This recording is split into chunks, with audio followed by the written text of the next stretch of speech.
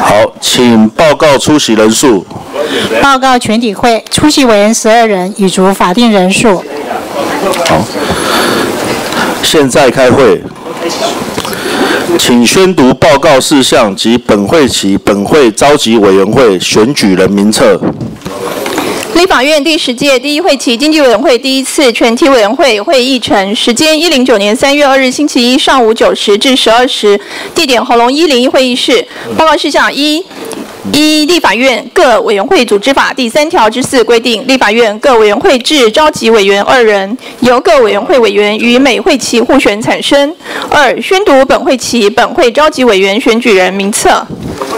一、苏建清委员；二、林代化委员；三、陈明文委员；四、邱意莹委员；五、苏志芬委员；六、邱志伟委员；七、陈廷飞委员；八、赖瑞荣委员；九、廖国栋委员。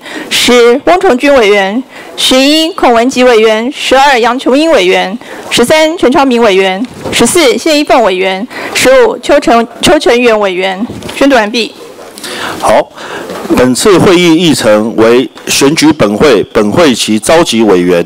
依规定，本会应置召集委员二人，选举方式以无记名单计法票选之。有书面同意，亦得以推选方式行之。好，推举程序哈，来，现有各党团的推举书，请宣读各党团推举书。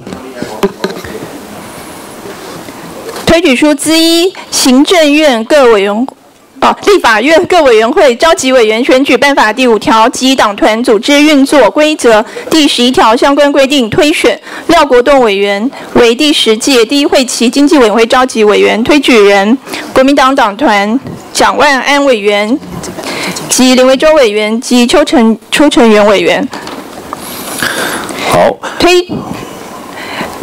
本月民进党党团推举邱意莹委员为第十届第一会期经济委员会召集委员；民主进步党立法立法院党团柯建明委员、郑玉鹏委员、钟嘉宾委员及台湾民众党邱成元委员。宣读完毕。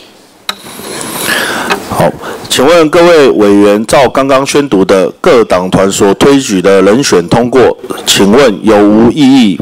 没有。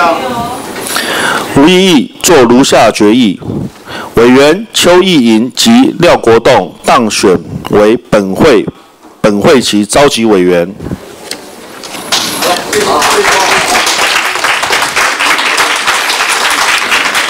本日议程处理完毕，散会。